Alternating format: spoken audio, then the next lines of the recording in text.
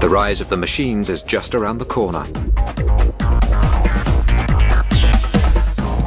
Robot technology is moving into a whole new world. It is the stuff of science fiction. But should we fear the robot of the future? Or welcome innovation designed to make life easier for us all?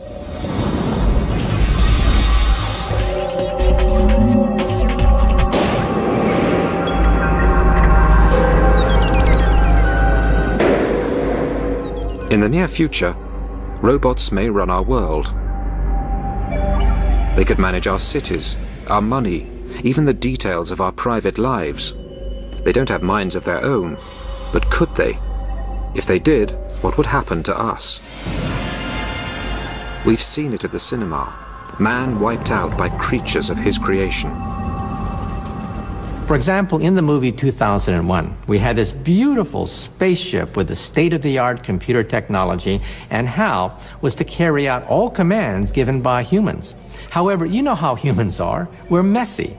We give sloppy commands, and commands were given to the computer that logically could not be carried out. And so the robot said, well, if the humans give me orders which cannot be carried out, the only logical way to carry out these ridiculous commands is to eliminate the humans. And that's precisely what the robot did. That's the problem with robots. No common sense. Man's innate ability to think, decide, and act has not always served the human race well. But wouldn't a world run by robots be worse? Much worse.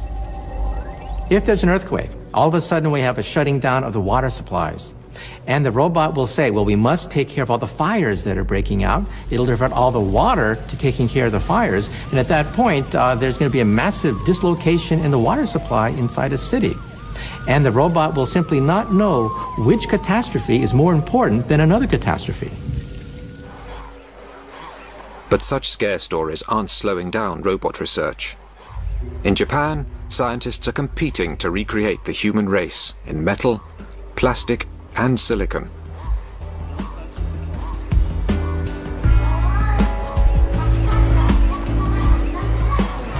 This is Asimo, the first humanoid to walk out of the laboratory and into the real world. It's designed to look friendly, not the kind of robot who'd zap us with a laser.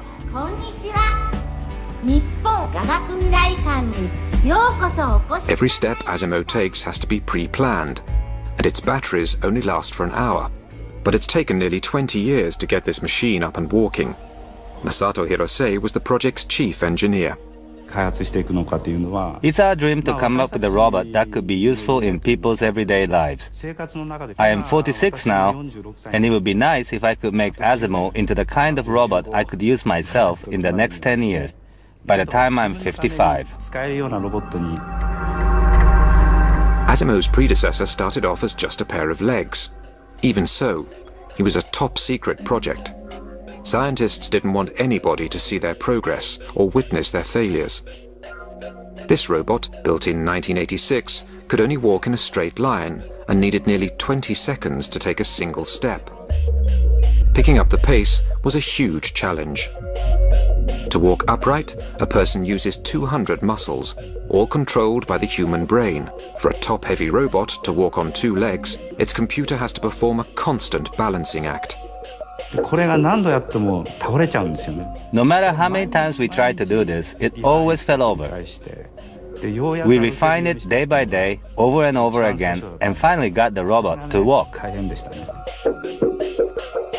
Engineers spent years monitoring human body movements and then programming their robots to recreate them. It took four years to get the speed up to a kilometer an hour. It took another two years to get the robot to cope with slopes and stairs. Finally, in 1993, there'd been enough progress to attach the legs to something that looked like a body. P1 was almost two meters tall and weighed 180 kilos, twice the average weight for a man that size. But its successor, P2, was much lighter and more compact. The first time I saw Honda P2, I was impressed and amazed. It was walking without wires, Everything was self-contained, onboard computers, onboard batteries. So it was impressive on that level, but also just because Honda was able to keep it a secret for 10 years. This is the latest model to emerge from the lab, and is a sign of what may one day be in our homes.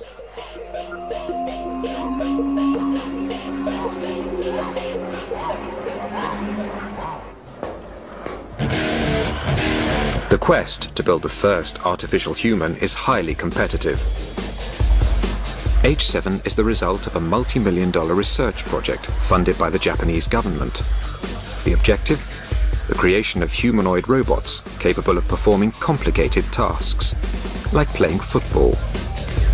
Keeping your eye on the ball and kicking it with your feet may be child's play for humans, but it's a major advance for machines.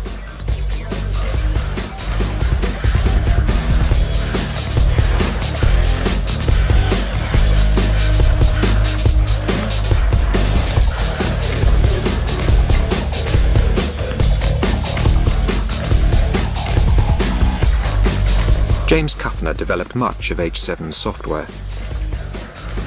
If I tell my daughter to go fetch my keys from the kitchen table, I don't have to tell her, move your left foot in front of the right foot, turn 90 degrees, and then enter the kitchen door. She can do that automatically, and we'd like to get robots to have that level of autonomy. H7 can track the ball with its eyes, and make its own decisions about how to follow, catch, or kick it.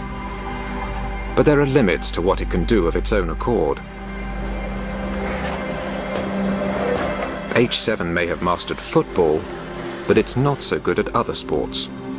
A whole new set of software is needed just to get H7 to pick up a bat. H7 doesn't find the bat by using its camera eyes. Instead, every movement is planned in advance and written into its software.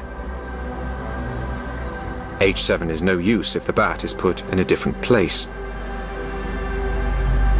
The most intelligent robot in the world still can't match the coordination and agility of a toddler.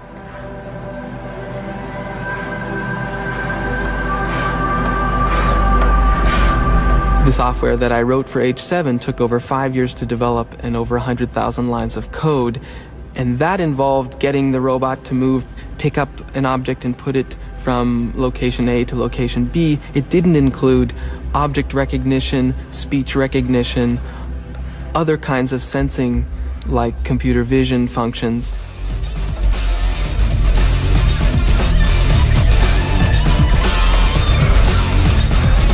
Robotics research has a history of constantly reinventing the wheel. Every time a new machine was developed, they had to write again from scratch the software to control it.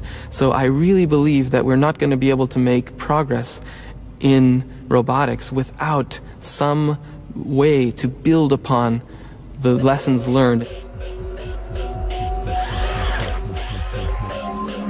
Despite the challenges, scientists are pushing forward the development of humanoids, believing there will soon be a need for them in the home and the workplace.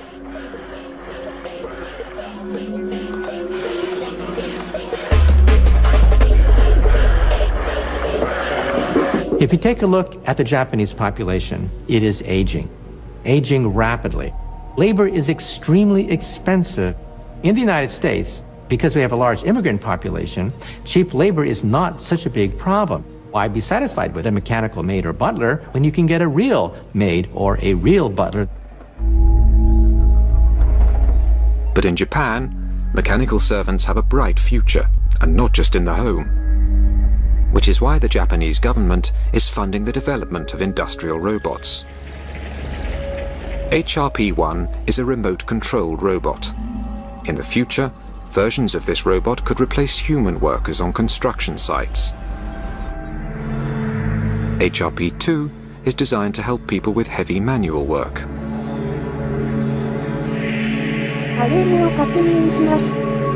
It's remotely controlled by instructions given through a headset.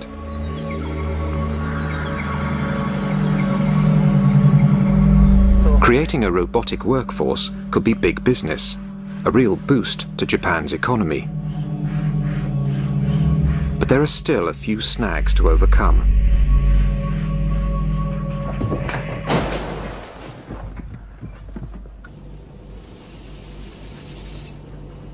Staying upright is a delicate balancing act.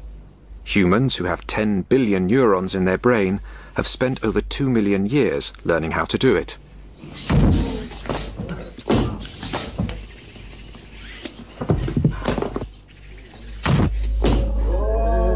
Morph 2 is a miniature humanoid, not always on its toes. Like a human, it can sense when it's off balance, but it's not always successful at compensating. But when it does manage to stay upright, its range of movement is impressive.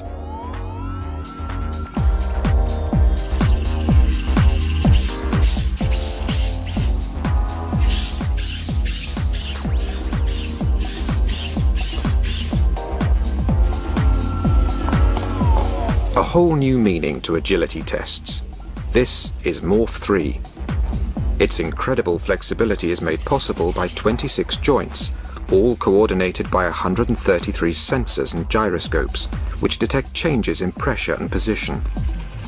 But they can't process all that information as quickly as humans, which is one reason they fall over so often.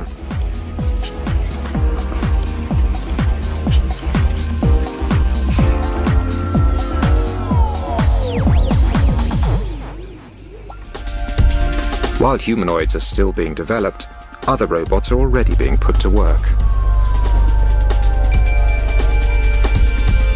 PackBot is a robot designed to help the police or armed forces in dangerous operations. One of the classic situations for the PackBot is a situation where a bad guy has barricaded himself inside a building and a police force is outside looking to make an entry. And they have very little information about what is going on in that building. So the robot is designed to climb stairs, climb into that building, look around, essentially put eyes and ears in, inside that building, give an idea where the doors are, where the stairway is, um, where the bad guys are, how many bad guys there are, if there are good guys, and if the bad guys are still alive. PackBot can be controlled from almost a kilometer away. It's a versatile robot, equipped with cameras, microphones, infrared sensors and sonar. The satellite navigation system tells its operator where it is, well as the roll and pitch of the terrain. We're looking at adding chemical sensors, um, bomb, bomb detection sniffers, um, mine, mine detection platforms. Basically, any kind of sensor that you can come up with, we can incorporate on the back of the robot. PackBot is housed in an impact-resistant aluminium shell that can survive a three-meter drop onto concrete at extreme temperatures. It can move at speeds of almost 20 kilometers an hour and through three meters of water. If it lands upside down, its flippers turn it over. One reason it's so tough, it has no wires that might break or become disconnected. I'm at the landing, clear at this point. Is the way clear? Clear. One, two, three. Go. This is only a police exercise, but PackBot has already seen real-life action, having worked at New York's Ground Zero, helping in the search for survivors. And this is particularly important now where, where the loss of human life isn't tolerated anymore during war or military action um, or civil action for that matter. Scientists are already working on the next generation of PackBots, with even more capabilities. The development of an extending neck will enable the robot to peer around corners. I'm turning the robot. Okay, Tommy, what do you got? Two people, one suspect and one hostage. He's got a knife in his right hand. There's a female on the ground. Go.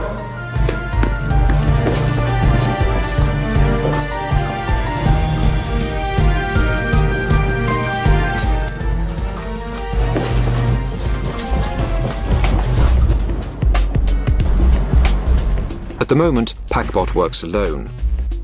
But there are situations when it will be an advantage to have a whole team.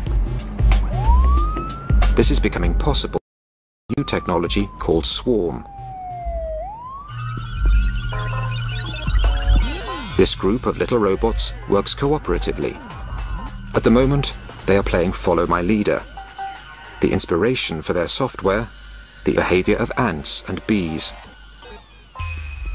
In nature, 20 million individuals in some of the larger societies of ants um, all come together and work for a common goal. And they don't have cell phones, they don't have internet, they don't have GPS, but yet they're able to work together collectively and to do complex things like map uh, their environment, form paths, carry food around, communicate information to their nest mates, things like that.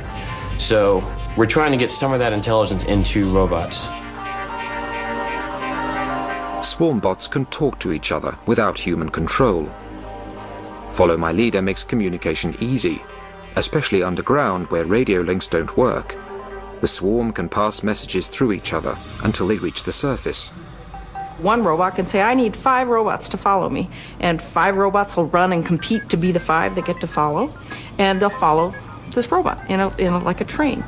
If one of the robots fails, maybe its motor dies, or maybe it gets caught in a crevice, the world is very difficult. Uh, it doesn't matter because another robot can just jump in and take its place. Teamwork means the swarm can spread out at speed, covering a wide area quickly. The robots can create an up to the minute moving map of the disaster area. So, for example, uh, you could put a lot of swarm members into a burning building and they could spread out. And they could all have sensors that say where the hot spots are, where the smoke density is, uh, where people might be found. So you've got this map that's growing very quickly. One robot wandering around could never do that. Ultimately, the goal is to construct thousands of swarm robots, clever enough to take on intricate tasks in difficult environments, such as searching for landmines, rummaging through rubble in the aftermath of an earthquake, or even exploring forbidden planets like Mars.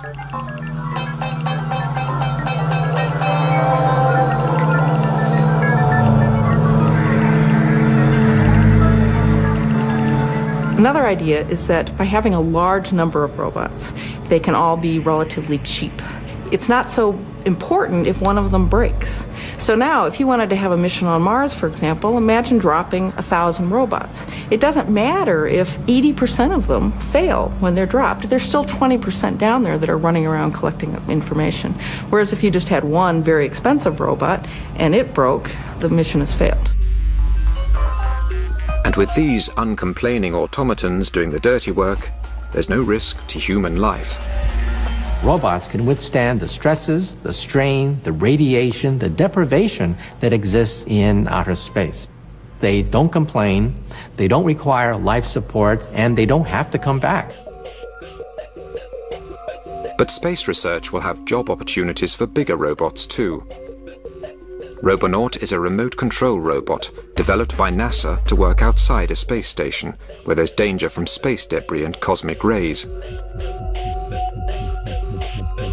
Safe inside the space station, the astronaut wears a special visor and glove.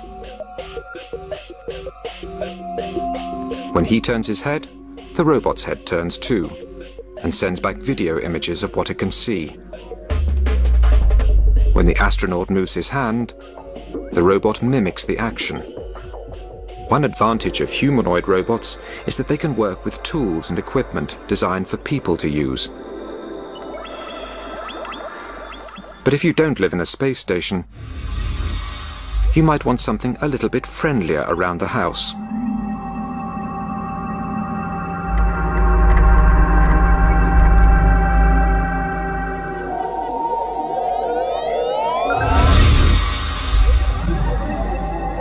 How about a robot that could greet you at the door?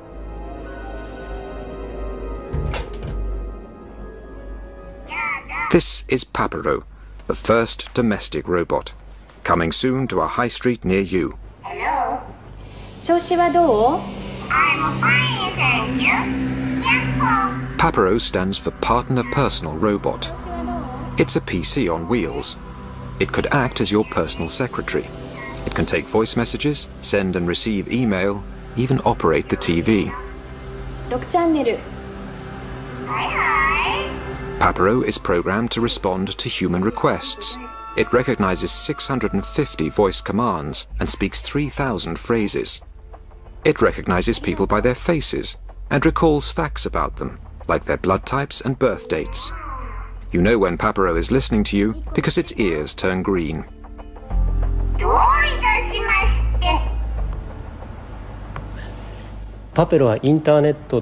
Papero can easily be linked to the internet or telephone. This means that humans can check what's happening at home when they're away. For example, if you can't remember whether you turned off the gas cooker, you can use Papero to see pictures inside your house. You can also check on your pets at home. And because Papero is compact and on wheels, it's very stable. It won't crush small children or trip over pets. And if it does bump into something, it's unlikely to do any damage. Papero, Papero likes to be stroked. This tells it that you're pleased, and it remembers its good behavior for future occasions. And if you need a dancing partner, Papero is definitely for you.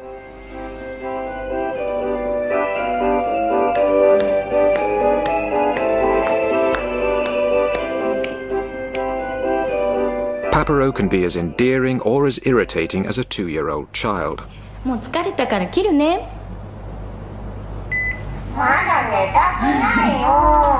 but it has one great advantage over any toddler.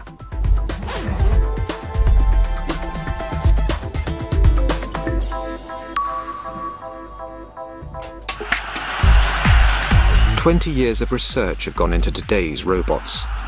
But are they ready to join the workforce?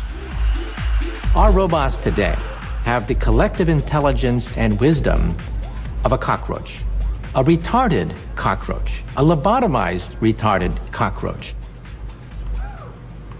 However, because of the doubling time of computers, I think that by the year 2020, we may have robots that are as intelligent as mice, perhaps as intelligent as a dog. If robots are really going to be useful, they're going to have to learn how to learn.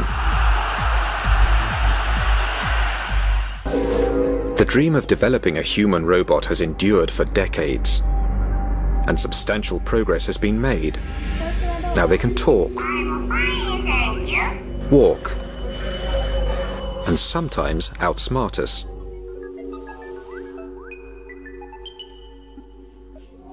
Playing chess against a grandmaster demands intellectual skill.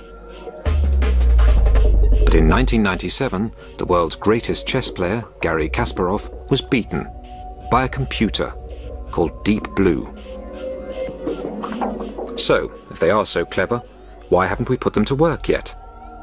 The real problem, why we don't have mechanical maids and butlers, is the common sense problem.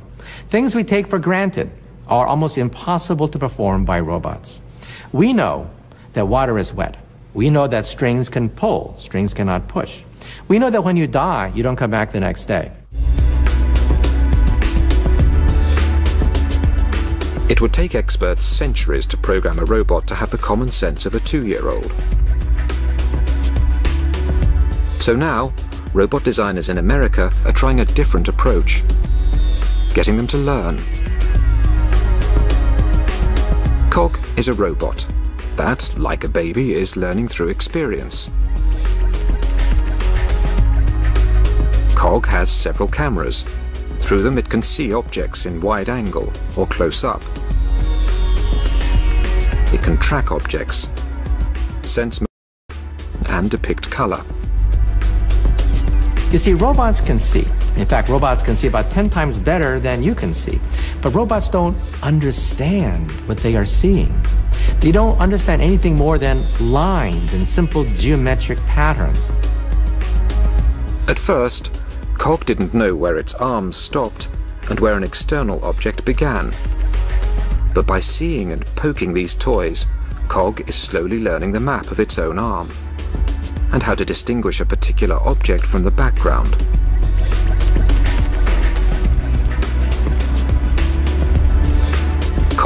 Now knows that cars move forwards or backwards, not sideways.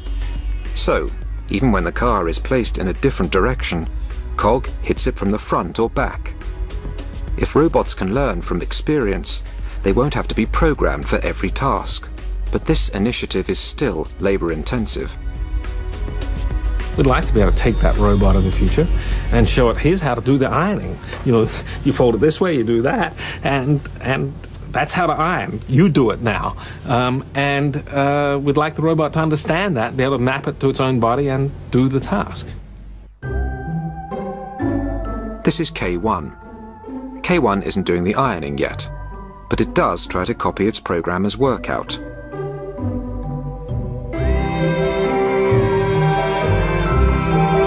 Judging by this performance, no one is going to let it loose on the ironing for some time.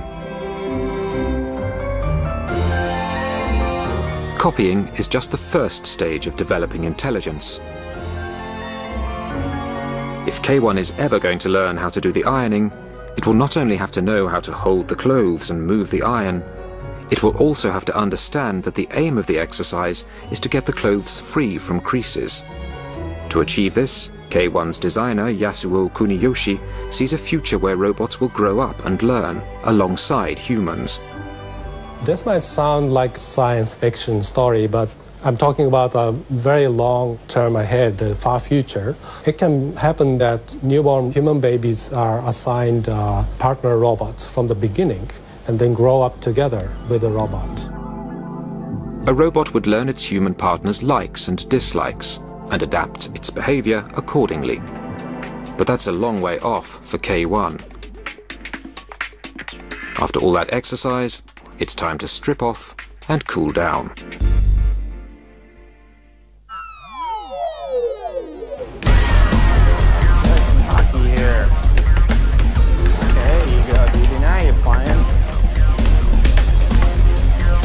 Darrin Bentivegna is teaching DB to play air hockey. DB's camera eyes have been set up to track the puck's bright colour. So far, so good. As long as the lighting conditions don't change. Now you know how to play it. Alright, getting a little better.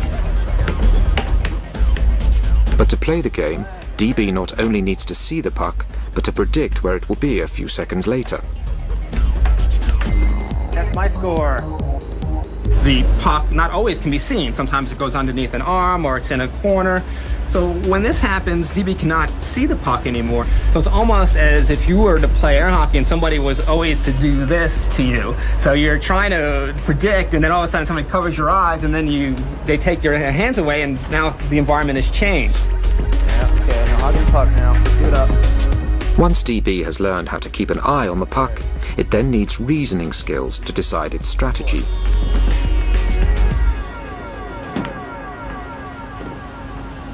Having chosen its shot, DB needs the motor skills to execute it. And all these seeing, reasoning and action skills need to happen instantly. The puck waits for no man and no thing. Is it worth all this effort just to teach a robot a game? Through verbal communication, you could tell DB or teach DB new skills as you would teach a person. So, for example, if you wanted to have DB do ironing in your home, you would have DB in the location and you would tell DB, watch DB, this is how we iron. We take the iron, we move it across the clothes, and we look for the wrinkles and we make sure we don't burn. And it would know about all these items through these communications and little by little build up more and more skills. One day you'll be able to play as good as this. Well, I'm hoping you'll be able to play better. But it's very important that, of course, that you teach your robot well and that it learns well, because you can have things as your you know, robot trying to cook your dog or burn your clothes or break your dishes, and of course, this is not what we want. If robots could learn and repeat tasks just by watching, they could become invaluable in the workplace. Other developers are taking the concept of a human robot one step further. They hope to produce a robot that not only copies our movements, but also our emotions and facial expressions. Fumio Hara directs the Faced Robot program at Tokyo's Science University. The easiest expression to replicate is excitement. The corners of the mouth move up and the eyes go down slightly.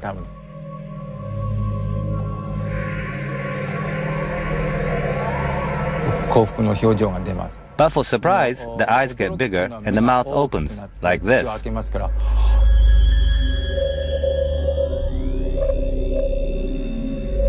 And for fear, you're scared. Everything tightens up and the eyes are slightly bigger and the mouth horizontal.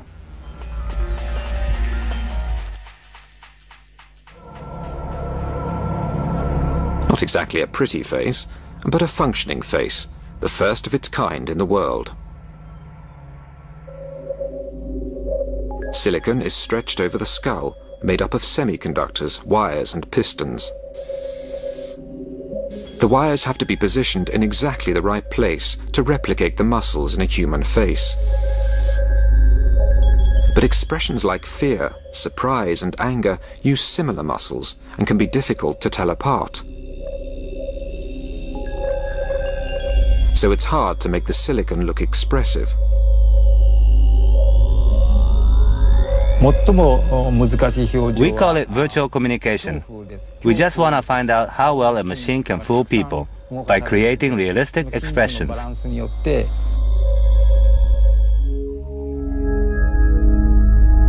Hara believes that a great deal of communication is through facial expression alone. To communicate effectively with humans, robots will need to express feelings we can understand.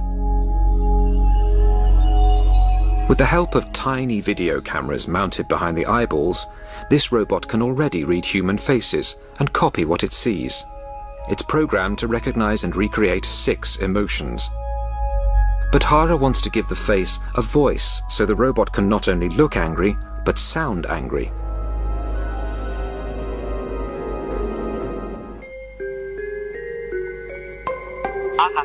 Meet WE4, Mr. Personality.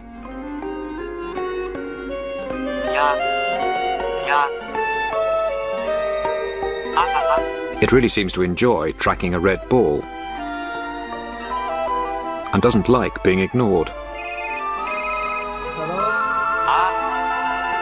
It shows surprise when the scientist opens a bottle of vodka, but it does like the smell. WE4 can make expressions of disgust, fear, anger, surprise, sadness, and happiness.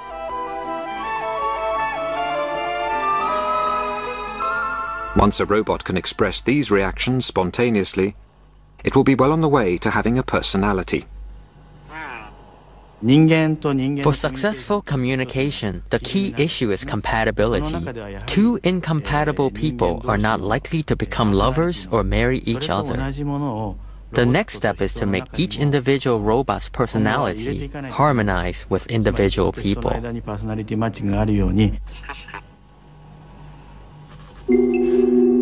Rodney Brooks is developing a sociable humanoid robot he calls Kismet. Do you want to talk to me today? What do you think? Like that. I'm too close? What if I get this close to you? What do you think? Right now, Kismet is modeling a very young infant who doesn't really have language. So it babbles and does turn taking, as you can do with a young infant, back and forth. But um, there's not too many words that it understands, and it can mimic a little bit, and we're having it learn about simple objects by talking to it. Can you see me? Yes. No, it's a bright light, isn't it? You're much more interested in the bright lights than my face today. Come, come over here.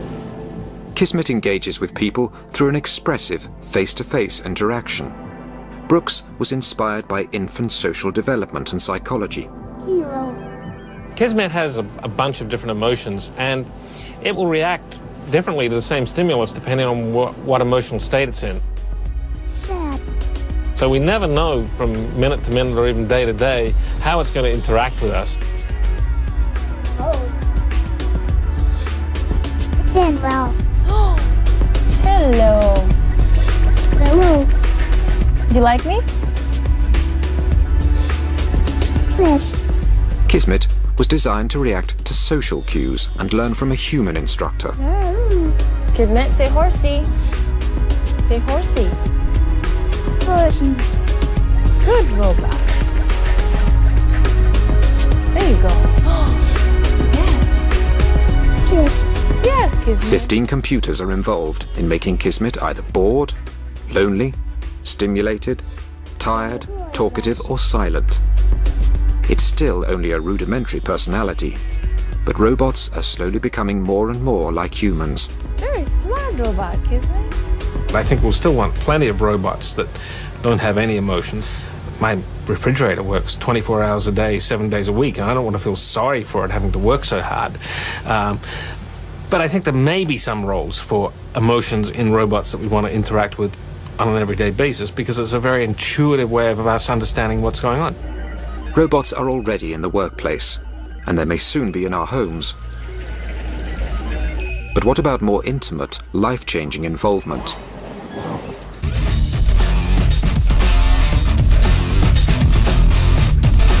Eric Harper looks like anybody else. But one part of his body is completely robotic. Nine years ago, Eric lost his right arm in a printing press accident. The uh, day I lost my arm, I had um, been working late. Um, the rest of the shift had gone home and I jumped up onto the machine and actually fell in and was drawn into the machine and then it shut down.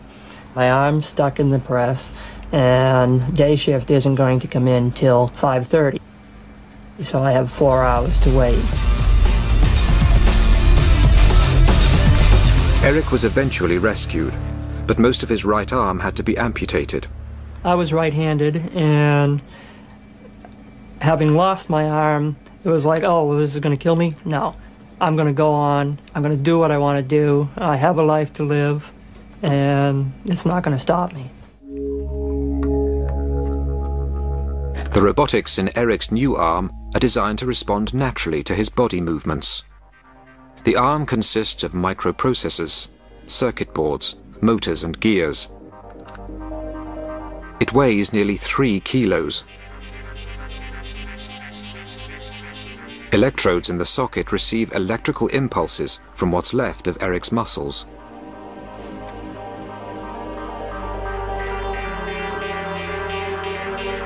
A valve seals the vacuum inside his false arm, helping to keep it in place. A computer reads the electrical impulses from Eric's back muscles and bends his robotic elbow, raising his forearm.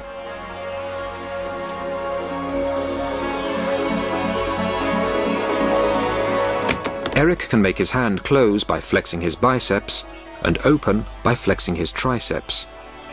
Like all uh, robots, uh, we have to run on battery power, and I have to pop out the battery on the bottom just like this, and then uh, get a new battery and put it back. Occasionally I'll get caught and uh, I'll just uh, run out of energy.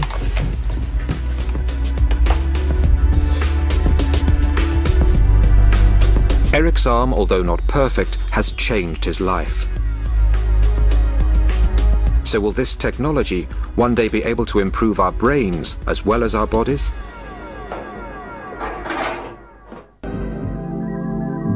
This stroke victim can't move or speak. But an electronic brain implant gives him the ability to operate a computer by the power of thought alone. His thoughts generate electrical activity in the implant, which is picked up by an aerial link to the computer. The signals are then translated into action, and the cursor moves on the screen. The brain is able to communicate with electronic devices really because they speak the same language, which is electricity. A two-way signaling system is being developed so that implants can also receive information from other parts of the body. We want to bring touch in, into the brain directly using uh, stimulation through arrays of electrodes in the brain. And we think that it will be possible someday for people who are, uh, uh, are quadriplegic to be able to feel their body again. External brain stimulation is already being put to the test. This is the world's first radio-controlled rat.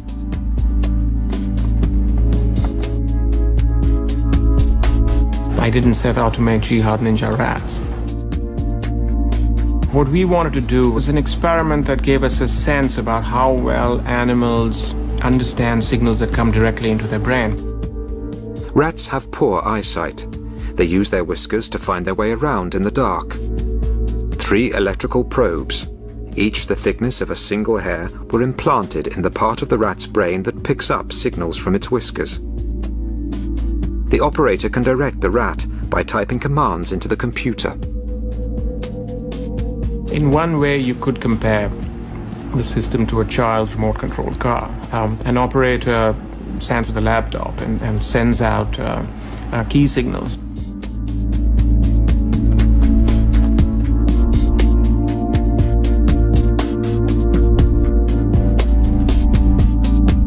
When the signals are turned off, the rat becomes confused until the next signal is given.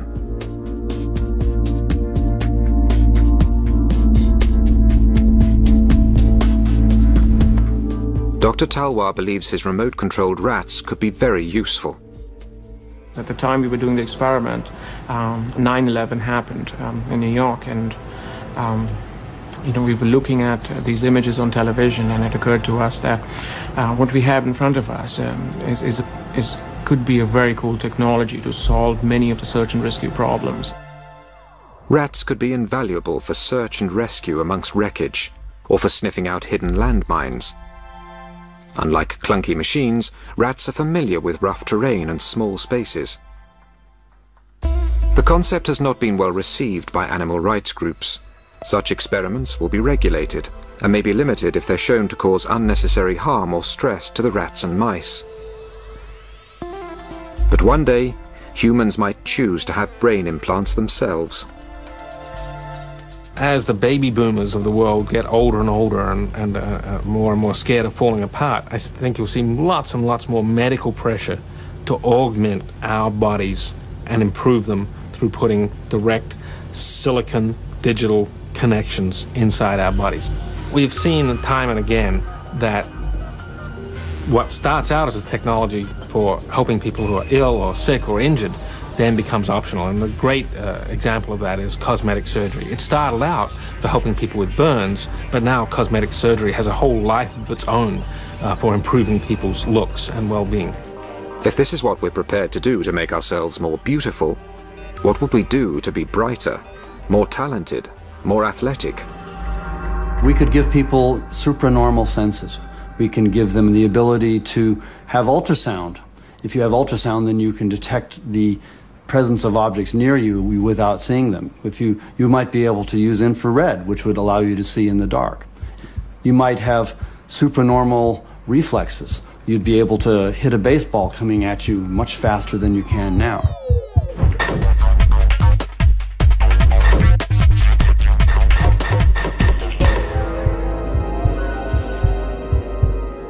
Once you have that, it's not very far to getting a wireless internet connection inside our head. So I fully expect 20 to 25 years from now, a lot of us, our grandchildren especially, will be walking around with wireless internet connections. And there will be robotic devices throughout our environment. Millions of chips will be embedded in our furniture, utensils and clothing.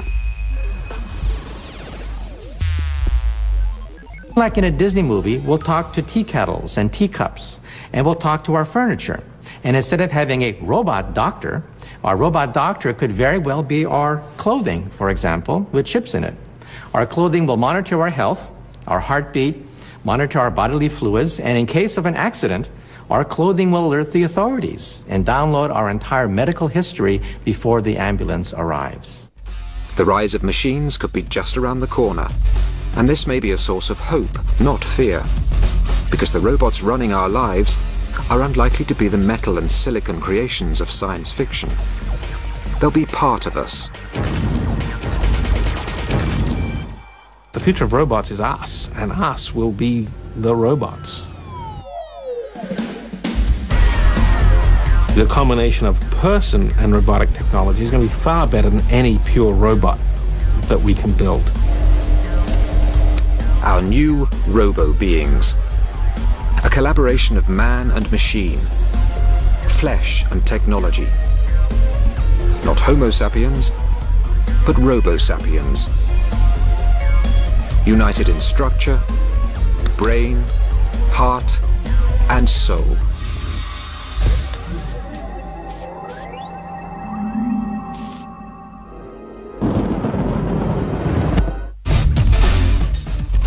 Next tonight, there's a terrifying game of cat and mouse off the coast of Bermuda when American and Soviet subs collided. Nuclear sharks after the break. Activity in the implant, which is picked up by an aerial link to the computer. The signals are then translated into action, and the cursor moves on the screen. The brain is able to communicate with electronic devices really because they speak the same language, which is electricity. A two-way signaling system is being developed so that implants can also receive information from other parts of the body. We want to bring touch in, into the brain directly using uh, stimulation through arrays of electrodes in the brain. And we think that it will be possible someday for people who are, uh, are quadriplegic to be able to feel their body again. External brain stimulation is already being put to the test. This is the world's first radio-controlled rat.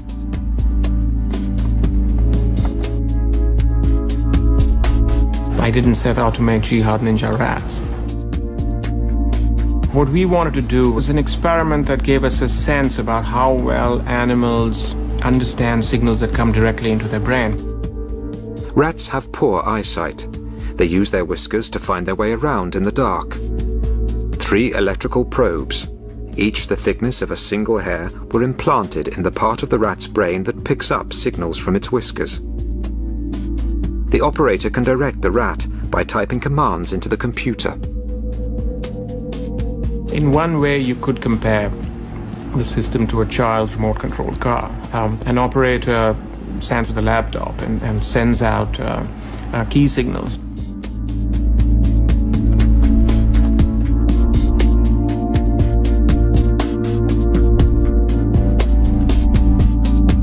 When the signals are turned off, the rat becomes confused until the next signal is given.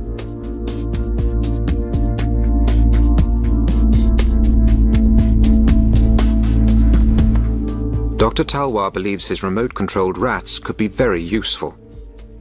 At the time we were doing the experiment, 9-11 um, happened um, in New York, and um, you know we were looking at uh, these images on television, and it occurred to us that uh, what we have in front of us um, is, is, is could be a very cool technology to solve many of the search and rescue problems. Rats could be invaluable for search and rescue amongst wreckage, or for sniffing out hidden landmines. Unlike clunky machines, rats are familiar with rough terrain and small spaces. The concept has not been well received by animal rights groups. Such experiments will be regulated and may be limited if they're shown to cause unnecessary harm or stress to the rats and mice. Eric can make his hand close by flexing his biceps and open by flexing his triceps. Like all uh, robots, uh, we have to run on battery power, and I have to pop out a battery on the bottom just like this, and then uh, get a new battery and put it back. Occasionally I'll get caught and uh, I'll just uh, run out of energy.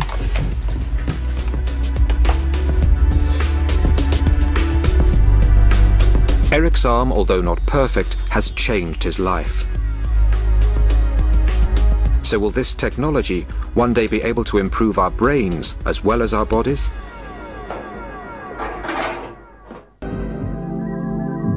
This stroke victim can't move or speak. But an electronic brain implant gives him the ability to operate a computer by the power of thought alone. His thoughts generate electrical activity in the implant, which is picked up by an aerial link to the computer.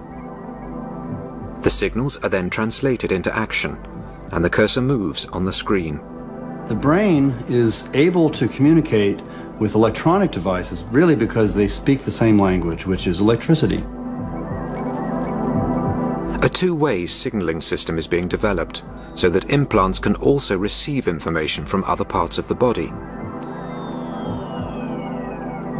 We want to bring touch in, into the brain directly using uh, stimulation through arrays of electrodes in the brain. And we think that it will be possible someday for people who are, uh, uh, are quadriplegic to be able to feel their body again.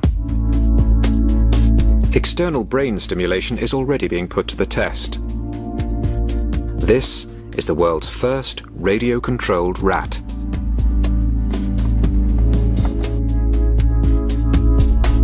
I didn't set out to make jihad ninja rats. What we wanted to do was an experiment that gave us a sense about how well animals understand signals that come directly into their brain. Rats have poor eyesight. They use their whiskers to find their way around in the dark.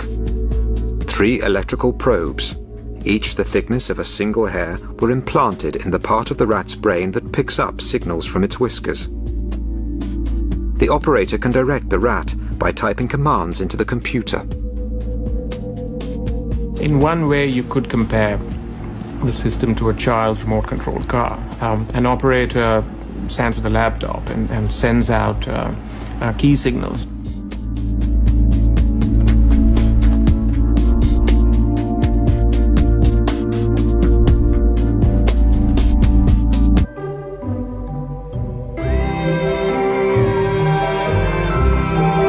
Judging by this performance, no one is going to let it loose on the ironing for some time. Copying is just the first stage of developing intelligence. If K1 is ever going to learn how to do the ironing, it will not only have to know how to hold the clothes and move the iron, it will also have to understand that the aim of the exercise is to get the clothes free from creases. To achieve this, K1's designer Yasuo Kuniyoshi sees a future where robots will grow up and learn alongside humans. This might sound like science fiction story, but I'm talking about a very long term ahead, the far future. It can happen that newborn human babies are assigned uh, partner robots from the beginning and then grow up together with the robot.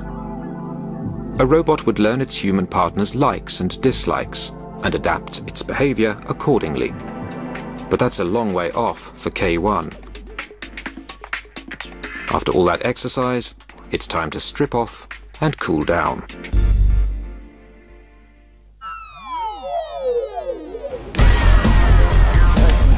here. Okay, you go, baby. Now you're playing. Darrin Bentivegna is teaching DB to play air hockey. DB's camera eyes have been set up to track the puck's bright colour. So far, so good as long as the lighting conditions don't change. You know how to play it. Alright, getting a little better. But to play the game, DB not only needs to see the puck, but to predict where it will be a few seconds later. That's my score. The puck not always can be seen. Sometimes it goes underneath an arm or it's in a corner. So when this happens, DB cannot see the puck anymore. So it's almost as if you were to play air hockey and somebody was always to do this to you. So you're trying to predict, and then all of a sudden somebody covers your eyes, and then you they take your hands away, and now the environment has changed. Yeah, okay, now hug and puck now. Give it up. Once DB has learned how to keep an eye on the puck, it then needs reasoning skills to decide its strategy.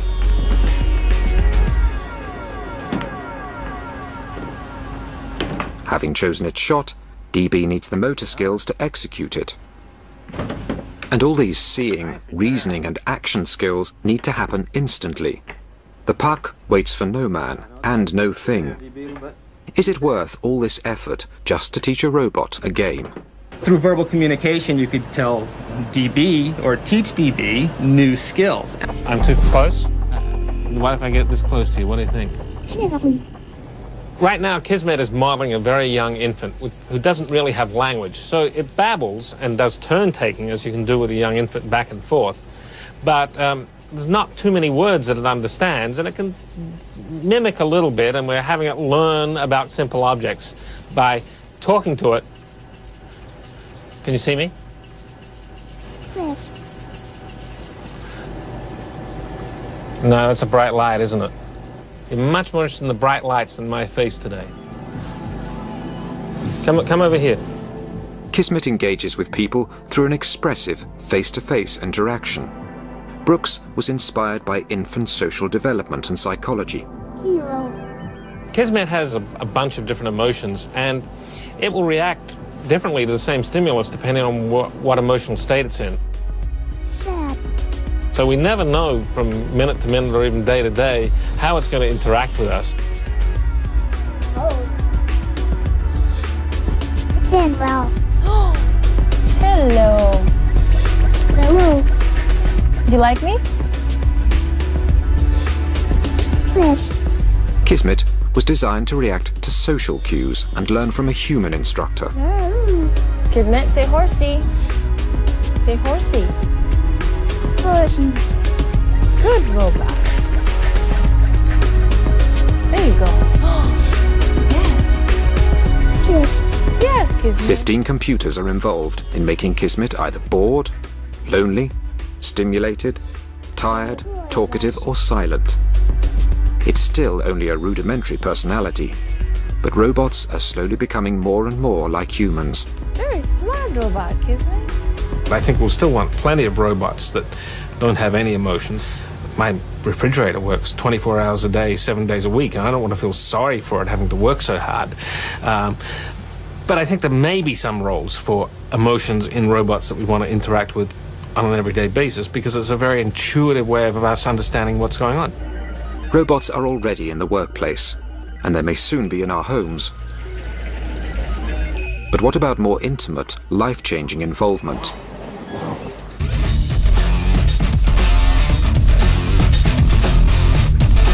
Eric Harper looks like anybody else. But one part of his body is completely robotic. Nine years ago, Eric lost his right arm in a printing press accident. The uh, day I lost my arm, I had um, been working late. Um, the rest of the shift had gone home, and I jumped up onto the. Times outsmart us.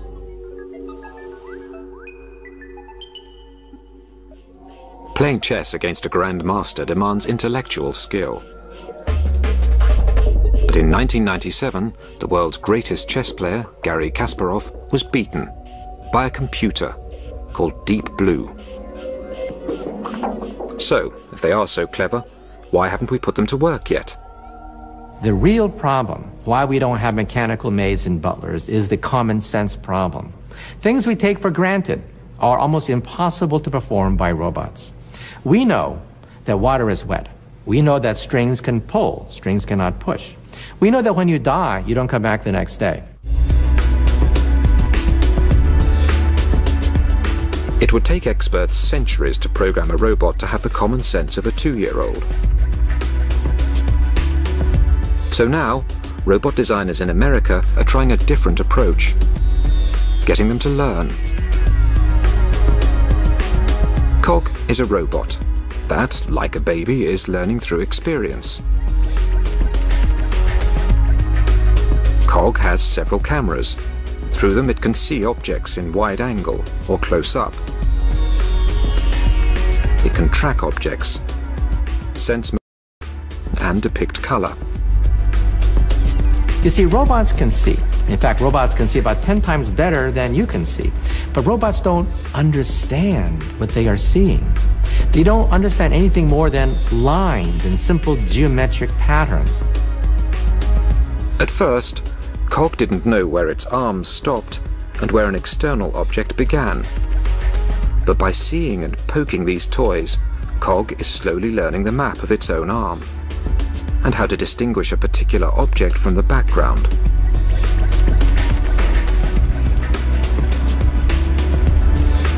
Cog now knows that cars move forwards or backwards, not sideways. So, even when the car is placed in a different direction, Cog hits it from the front or back. If robots can learn from experience, they won't have to be programmed for every task. But this initiative is still labor intensive. We'd like to be able to take that robot of the future and show it here's how to do the ironing. You know, you fold it this way, you do that, and and that's how to iron. You do it now. Um, and uh, we'd like the robot to understand that, be able to map it to its own body and do the task. This is K1. K1 isn't doing the ironing yet, but it does try to copy its programmer's workout.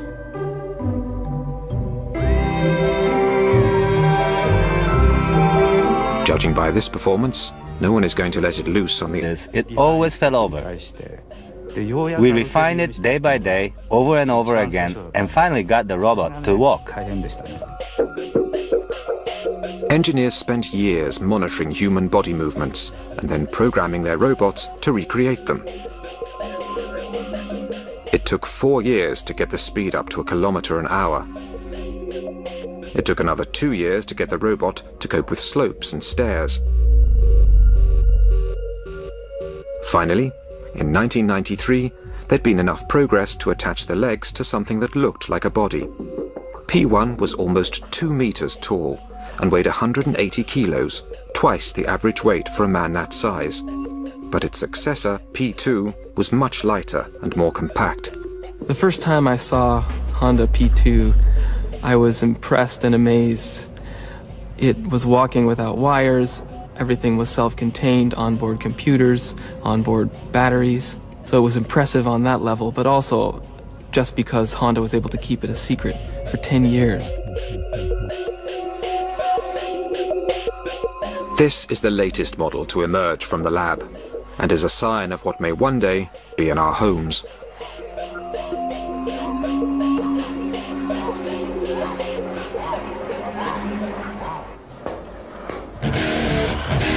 The quest to build the first artificial human is highly competitive.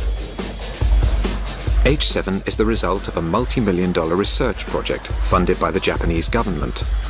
The objective? The creation of humanoid robots capable of performing complicated tasks, like playing football.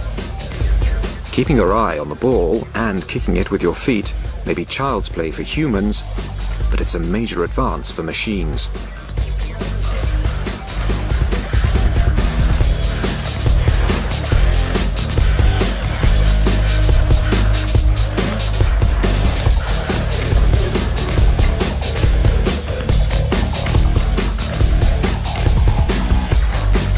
James Kuffner developed much of H7's software. If I tell my daughter to go fetch my keys from the kitchen table, I don't have to tell her, move your left foot in front of the right foot, turn 90 degrees, and then enter the kitchen door. She can do that automatically, and we'd like to get robots to have that level of autonomy. H7 can track the ball with its eyes and make its own decisions about how to follow, catch, or kick it. But there are limits to what it can do of its own accord. H7 may have mastered football, but it's not so good at other sports. A whole new set of software is needed just to get... Cog is a robot. That, like a baby, is learning through experience. Cog has several cameras. Through them it can see objects in wide angle or close up. It can track objects, sense and depict color. You see, robots can see. In fact, robots can see about 10 times better than you can see. But robots don't understand what they are seeing. They don't understand anything more than lines and simple geometric patterns. At first, Cog didn't know where its arms stopped and where an external object began. But by seeing and poking these toys, Cog is slowly learning the map of its own arm and how to distinguish a particular object from the background.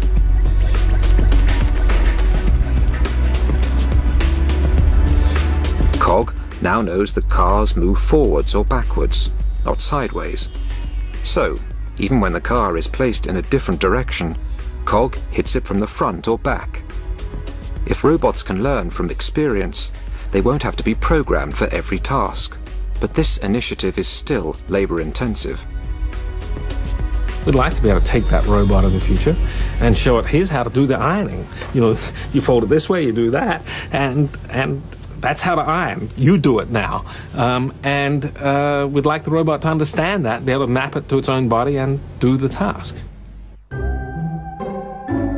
This is K1. K1 isn't doing the ironing yet, but it does try to copy its programmer's workout.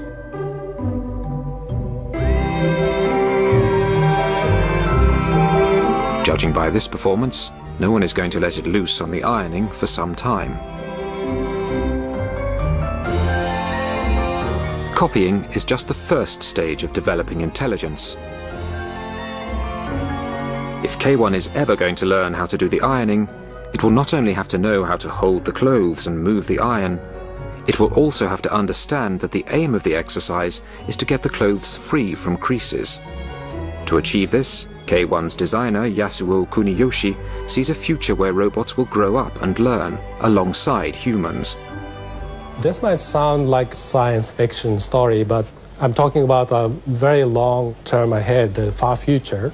It can happen that newborn human babies are assigned partner robots from the beginning and then grow up together with the robot. A robot would learn its human partner's likes and dislikes and adapt its behavior accordingly. But that's a long way off for K1. After all that exercise, it's time to strip off and cool down. All right, getting a little better. But to play the game, DB not only needs to see the puck, but to predict where it will be a few seconds later. That's my score. The puck not always can be seen. Sometimes it goes underneath an arm or it's in a corner. So when this happens, DB cannot see the puck anymore. So it's almost as if you were to play air hockey and somebody was always to do this to you. So you're trying to predict, and then all of a sudden somebody covers your eyes, and then you they take your hands away, and now the environment has changed. Yeah, okay, now hug the puck now. Give it up. Once DB has learned how to keep an eye on the puck, it then needs reasoning skills to decide its strategy.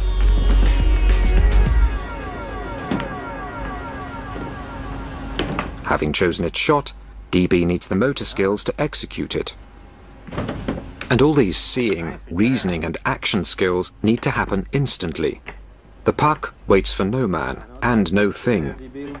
Is it worth all this effort just to teach a robot a game? Through verbal communication, you could tell DB or teach DB new skills as you would teach a person. So, for example, if you wanted to have DB do ironing in your home, you would have DB in the location you would tell DB, watch DB, this is how we iron. We take the iron, we move it across the clothes, and we look for the wrinkles and we make sure we don't burn. And it would know about all these items through these communications and little by little build up more and more skills. One day you'll be able to play as good as this. Well, I'm hoping you'll be able to play better. But it's very important that, of course, that you teach your robot well and that it learns well, because you can have things as your you know, robot trying to cook your dog or burn your clothes or break your dishes, and of course, this is not what we want. If robots could learn and repeat tasks just by watching, they could become invaluable in the workplace. Other developers are taking the concept of a human robot one step further. They hope to produce a robot that not only copies our movements, but also our emotions and facial expressions. Fumio Hara directs the Faced Robot program at Tokyo's Science University. The easiest expression to replicate is excitement. The corners of the mouth move up and the eyes go down slightly.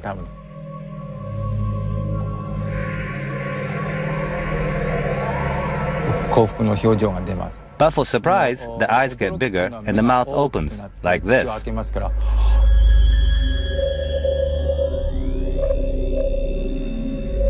And for fear, you're scared. Everything tightens up and the eyes are slightly bigger and the mouth horizontal. Into it. Can you see me? Yes. No, it's a bright light, isn't it? You're much more interested in the bright lights than my face today. Come, come over here. Kismet engages with people through an expressive face-to-face interaction.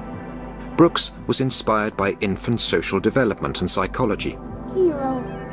Kismet has a, a bunch of different emotions, and it will react differently to the same stimulus depending on what, what emotional state it's in. Sad. So we never know from minute to minute or even day to day how it's going to interact with us. Oh. Manuel. Hello. Hello. Do you like me? Yes.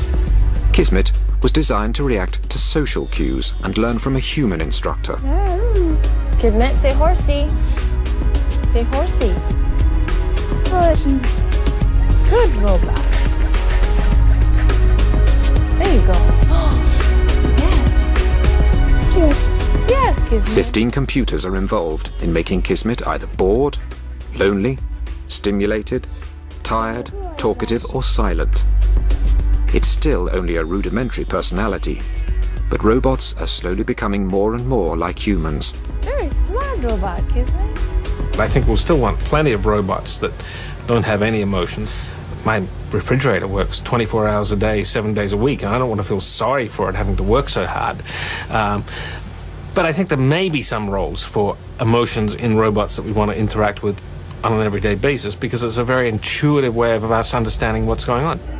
Robots are already in the workplace, and they may soon be in our homes. But what about more intimate, life-changing involvement?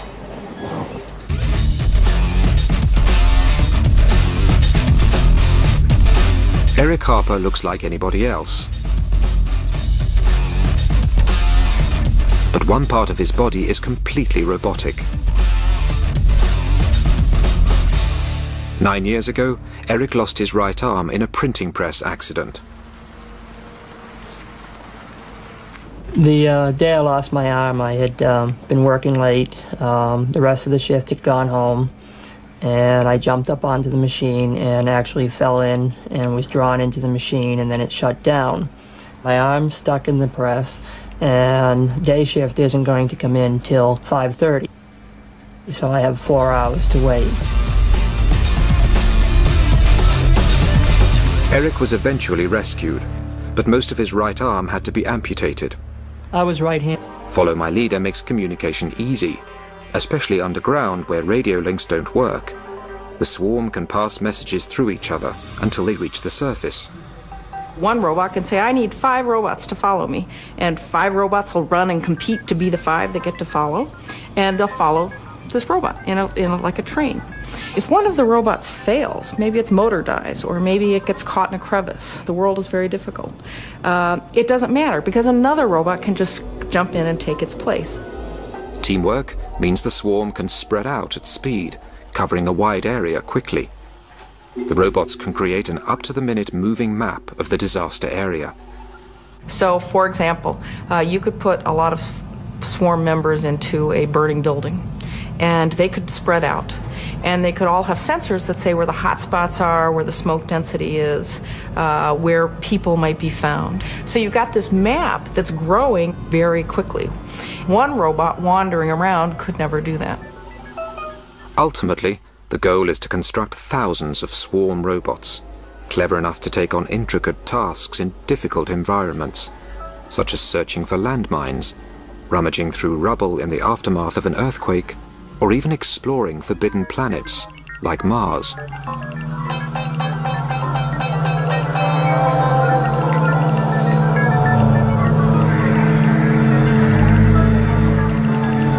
Another idea is that by having a large number of robots, they can all be relatively cheap.